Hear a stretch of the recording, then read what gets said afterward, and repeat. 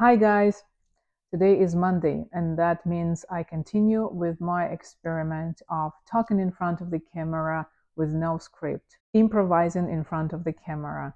That's the skill I want to develop and hopefully I will see some progress by the end of my 30 day challenge. So let me continue. Here is my box with the questions.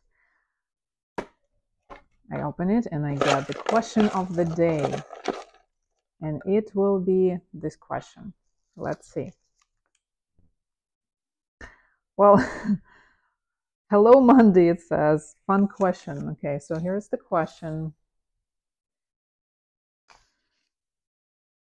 Question number 29. If animals could talk, which animal would be the funniest to have a conversation with? So, as I said in my first video uh, about this experiment, I had 30 questions prepared and some of them are serious questions about my photography, some of them are about creativity, and there are also some questions uh, that fall into category of fun questions, and this is one of them. So let me check again. So animals could talk. Which animal would be the funniest to have a conversation with? Let me think. Okay, so I think that a giraffe would be probably a very fun animal to have a conversation with. Uh, I personally do enjoy watching giraffes on, you know, YouTube videos and some shorts. Uh, I think they're very fun animal and also iconic animals. Uh, you can't imagine thinking about uh, safari or Africa without imagine, imagining a giraffe.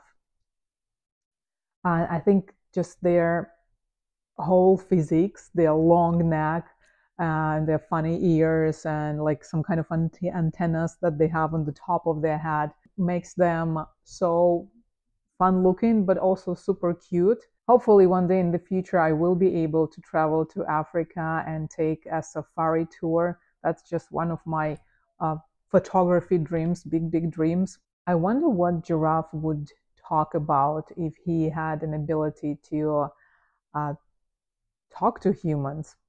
And if he could talk, I wonder, would he bend his neck to make sure that we hear him clearly, or would he just stay like this and look at us from uh, the top of his height.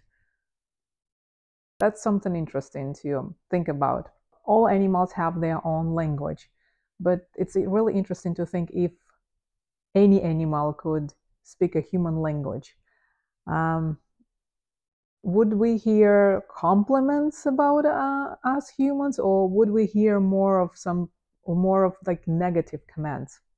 With all the advancement in uh, the technology, maybe in the nearest future, we humans will be able to translate animal language and uh, maybe we will find out what animals talk about and think about us lovely humans. So that's it for today. Uh, now I have to edit the video and upload it on YouTube.